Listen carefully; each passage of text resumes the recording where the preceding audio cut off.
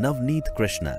The image of the child Krishna squatting on his golden throne with the pot of butter in his tiny hands, a form widely known as Navneet Krishna, is the most loved theme of Tanjore artists. The three-arched shrine under which the seat is laid is a cast of real gold foils studded with numerous precious and semi-precious stones.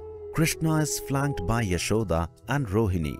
Under the arch on Krishna's right stands the Tanjore King Shivaji II, who rules from 1833 to 1855 and led Tanjore art to its greatest heights. He is paying homage to the Navaneeta Krishna the beads inlaid over the central part of the post reveal three sacred Vaishnava motifs, discs, threefold vertical forehead mark and a conch, and a conch.